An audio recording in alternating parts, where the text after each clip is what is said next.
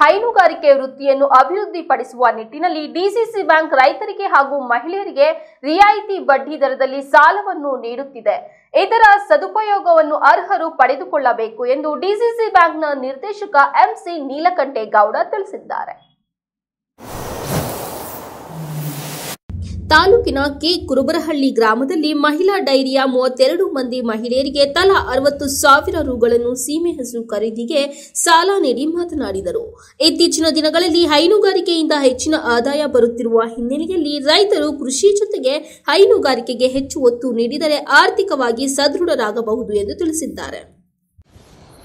ಎಷ್ಟೋ ಕುಟುಂಬಗಳು ತೊಂದರೆಗೀಡಾಗ್ತಾ ಇದ್ದು, ಬೇರೆ ಜಿಲ್ಲೆಗಳಲ್ಲಿ ಸುಮಾರು ಜನ ರೈತರು ಆತ್ಮಹತ್ಯೆ ಮಾಡಿಕೊಟ್ರು ಸಾಲಗಳು ಸುಳಿಗೆ ಸಿಕ್ಕಿ ನೀರಿಲ್ಲದೆ ವ್ಯವಸಾಯ ಆಗದೆ ಇದಾದರು. ಆದರೆ ನಮ್ಮ ಕೋಲಾರ ಮತ್ತು ಚಿಕ್ಕಬಳ್ಳಾಪುರ ಜಿಲ್ಲಾ ಬ್ಯಾಂಕ್ ಇದು ಎರಡೂ ಜಿಲ್ಲೆಗಳಲ್ಲಿ ಯಾರೂ ಆತ್ಮಹತ್ಯೆ ಅಷ್ಟು ಮಾಡ್ಕೊಳ್ಳಿಲ್ಲ. ಕಾರಣ ಏನು ಅಂತಂದರೆ ಬಂಡು ಬಿದ್ದೋಗಿದ್ದಾರೆ. ಆಮೇಲೆ ಅದಲ್ಲದೆ ಹಸುಗಳಿದ್ದಾವೆ ನಮಗೆ ಅಂತ. ಹಸುಗಳು ಏನೋ ಅಷ್ಟೋ ಇಷ್ಟೋ ಕುಟುಂಬ ಪೋಷಣೆ ಮಾಡ್ಕೊಂಡು ಹೋಗ್ತಾ ಇದ್ದಾರೆ ಧೈರ್ಯದಿಂದ. ಆದ್ದರಿಂದ ಆ ಕುಟುಂಬಗಳಿಗೆ ಮತ್ತು ಹೈನುಗಾರಿಕೆಯನ್ನು ಅವಲಂಬಿಸಬೇಕು ಅನ್ನೋಂಥ ಕುಟುಂಬಗಳಿಗೆ ಕೋಲಾರ ಮತ್ತು ಚಿಕ್ಕಬಳ್ಳಾಪುರ ಜಿಲ್ಲಾ ಕೇಂದ್ರ ಸಹಕಾರ ಬ್ಯಾಂಕ್, ಅಂದರೆ ಡಿ ಸಿ ಸಿ ಬ್ಯಾಂಕ್, ಅವರ ಪಾಲಿಗೆ ನಾವಿದ್ದೀವಿ, ನಿಮ್ಮ ಬೆನ್ನೆಲುಬಾಗಿ ನಿಂತ್ಕೊಳ್ತೀವಿ, ನೀವು ಹಸುಗಳಿಗೆಲ್ಲ ಎಷ್ಟು ಸಾಲ ಬೇಕಾದರೂ ಕೊಡ್ತೀವಿ, ನೀವು ಅದರಿಂದ ಜೀವನ ಮಾಡುವಂಥ ಒಂದು ಶಕ್ತಿ ತುಂಬಬೇಕು ಅಂತೇಳಿ ನಮ್ಮ ಡಿ ಸಿ ಬ್ಯಾಂಕ್ ಈ ಕೆಲಸ ಮಾಡ್ತಾ ಇದೆ. ಇದರಲ್ಲಿ ಹೆಚ್ಚಿಗೆ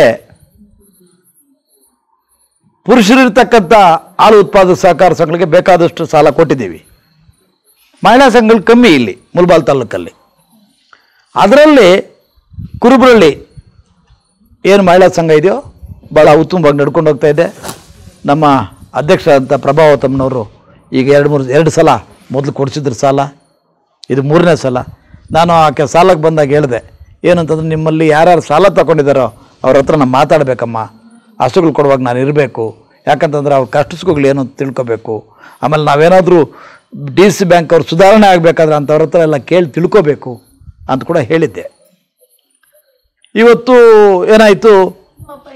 ಬ್ಯಾಂಕಲ್ಲಿ ಸ್ವಲ್ಪ ಡೋರ್ಸ್ ಏನೋ ಇದಾಗಿಬಿಟ್ಟು ಲಾಕ್ ಆಗಿಬಿಟ್ಟು ಬರದೆ. ಎರಡೂವರೆವರೆಗೂ ಬ್ಯಾಂಕ್ ಒಳಗೆ ಹೋಗೋಕ್ಕಾಗಿಲ್ಲ ಆಮೇಲೆ ಇವೆಲ್ಲ ಚೆಕ್ಗಳೆಲ್ಲ ಬರೆದು ಇದು ಮಾಡಿದಾಗ ತಡವಾಯಿತು. ಆಮೇಲೆ ಇನ್ನು ಕೆಲವರು ಕೂಲಿ ನಾಲಿಗೆ ಹೋಗ್ಬಿಟ್ಟಿರ್ತಾರೆ ಪಾಪ, ಡೇ ಟೈಮಲ್ಲಿ ಸಿಗಲ್ಲ ಅಂತಂದರು. ಅದಕ್ಕೆ ಸಾಯಂಕಾಲ ಆದರೂ ಪರವಾಗಿಲ್ಲ, ಅವರೊಂದಿಗೆ ಚರ್ಚೆ ಮಾಡಬೇಕು ಅಂಥೇಳಿ ನಾನು ಇವತ್ತು ಬಂದೆ. ನಿಮಗೆಲ್ರಿಗೂ ಗೊತ್ತು ಏನು ಅಂತಂದರೆ, ಇವತ್ತು ಪ್ರತಿ ಮನೆಗೂ ಏನಾದರೂ ಒಂದು ಹಸು ಇದೆ ಅಂತಂದರೆ, ಆ ಹಸು ನಮ್ಮ ಕುಟುಂಬನ ಅಂದರೆ ಏನು ದಣಿಯಲ್ಲಿಂದ ಹಿಡಿದು ಕಾಫಿ ಪೌಡ್ರಿಂದ ಇಲ್ಲೂ ಬೆಲ್ಲದಿಂದ ಸಕ್ಕರೆಯಿಂದ ಹಿಡಿದು ನಡ್ಕೊಂಡು ಹೋಗುವಂಥ ಒಂದು ಶಕ್ತಿಯನ್ನು ಆ ಡೈರಿ, ಆ ಹಸು ಹಾಲಿಂದ ತುಂಬತ್ತೆ ಅಂತ. ಇದನ್ನು ಇನ್ನೂ ಹೆಚ್ಚೆಚ್ಚಾಗಿ ನೀವು ಮಾಡಬೇಕು. ಈಗ ಯಾ ಸಾಲ ತೀರಿಸ್ಬಿಟ್ರು ಅಂದರೆ ಪುನಃ ಕೂಡ ಸಾಲ ಕೊಡ್ತಾ ಇರ್ತೀವಿ. ಆಮೇಲೆ ಇನ್ನು ಆರು ತಿಂಗಳಿಗೆ ರಿನಿವಲ್ ಇದೆ. ಅಂದರೆ ಇನ್ನೊಂದು ಹಸು ಕೊಡ್ತೀವಿ.